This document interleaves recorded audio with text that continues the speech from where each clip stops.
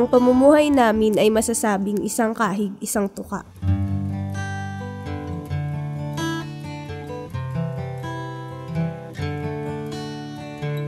Actually, maraming mga problema kami nakikita dito sa Negros Occidental. Bilang employee kami ng isang asyenda at hindi amin yung lupa, talagang mapursik ka magtrabaho. Di namin mapag-aral ang aming mga anak. Dahil yung sahod namin, paglinggo, bili ng bigas, bili ng ulam, hindi sapat. If we have to look at the land ownership pattern, we can count from our fingers the number of landowners in one municipality. But we cannot count the number of poor people in areas where uh, sugarcane is uh, planted.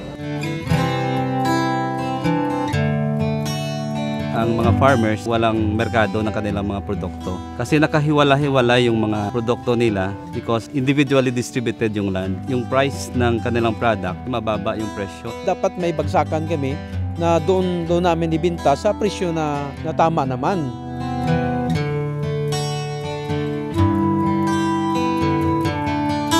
Nung mag-start tayo ng implementation of Agrarian Reform Program, maraming struggle ang mga nangyayari because Planter Association is being organized here in Negros by the big traders no and the group of landowners. Yung pag-contact sa mga ERBs, kino-convince namin sila na mag-association kami para may boses kami sa sugar mill. Tapos nag-adapt kami ng mga itong government program na talagang magiging agrarian reform beneficiaries kami. Patuloy ang reformang ah, agraryo na may kaukulang ah, suporta sa lupa sa Negros ah, Occidental.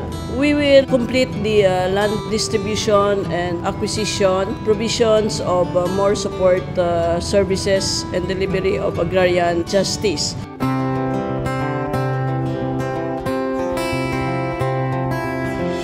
Nag-conceptualize kami ng isang industry-based organizing. With that kind of uh, intervention, nabuo namin yung Sugarcane Planter Association. Nabuo namin yung Organic Rice Group. By commodity yung organizing. Voluntary lang yung pag-umpisa namin. Nagsimula sa maliit na capital share. Sa tulong ng DAR, koneksyon sa link sa SRE, so na-absorb namin ang education na kung paano namin ipauswag namin produksyon sa sugar. Ang programa ng Darna sa IPCP, tulungan na rin kami ng ano, makaloon sa land bank para madagdag na kapital namin sa aming tubuhan. When we started the Sugarcane Planter Association, nag-organize kami ng UNARPA. Maraming training before nga i nagsimula ang UNARPA. Sa tulong ng BDCD DAR na organize naman yung mga uh, ERBs, Nagkaroon na sila ng opportunity na maibenta directly yung sugar, yung keda nila, direct to the buyer. Sila na na yung nagbibid, sila na rin yung naghahanap ng market nila and at the same time, nagkaroon tayo ng mga support services dyan sa grupo na yan. Dito sa Macarben, La Castellana, sa kanilang grupo, ang landowner ang siyang tumulong para bumuo ng grupo at saka magpaunlad ng organization. In-award talaga ito ng may-ari sa amin. Ang gusto niya po, maging collective. At ganito naman po ang inadapt namin. Nalaman namin na kung mayroon ka palang sarili mong lupa, makadagdag kabuhayan sa pamumuhay mo. So this is the type of model na gusto nating ipakita rin sa buong bansa. Pwede pala yung landowner at saka ARB magtulungan para sa kabutihan ng kanilang lupain.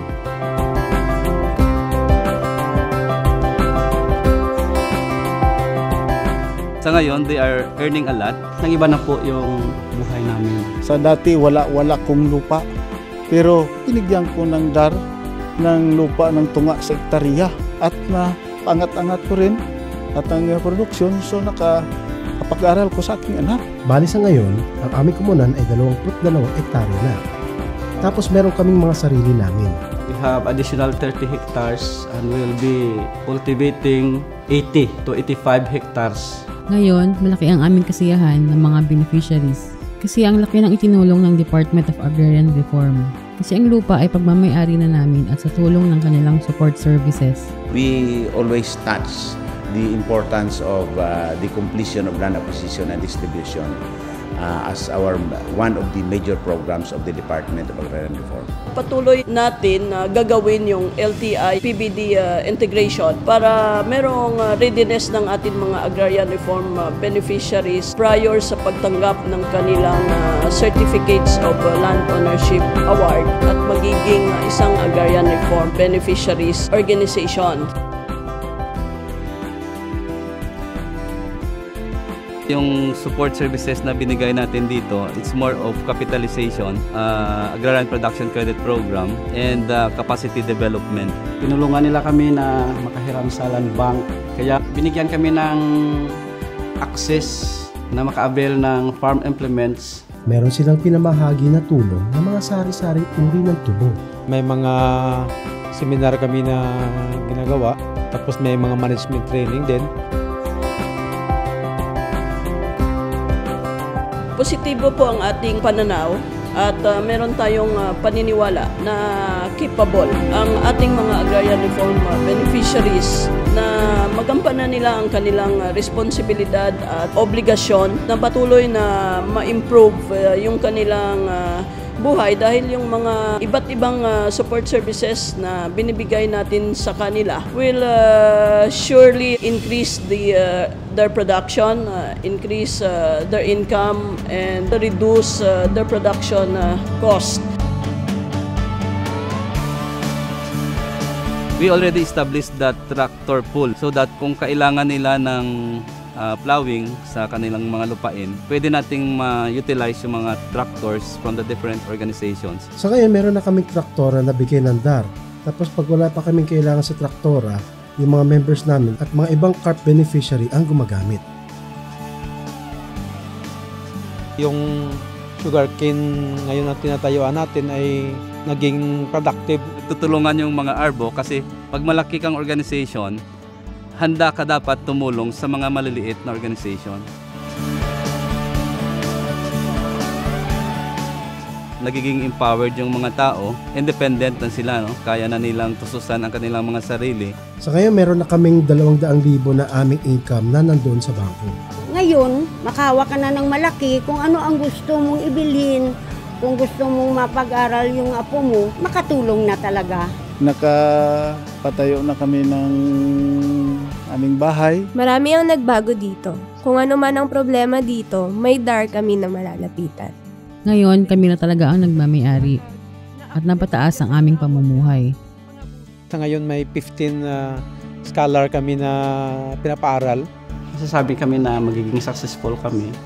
Pero hindi namin masabi yan without the help, without the united effort of our members. Na-establish na natin yung production side no, ng mga agrarian reform beneficiaries.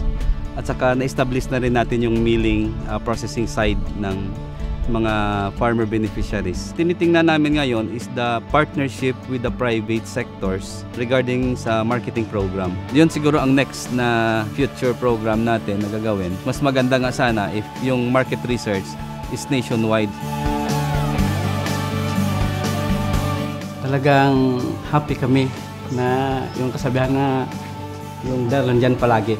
Hanggang sa huli, hindi namin sila makalimutan. Dahil kung wala ang DAR, hindi umunlad ang aming mga buhay. Malaki ang naitulong nila sa amin at nagpapasalamat kami sa walang sawang pagtulong nila sa aming mga magsasaka.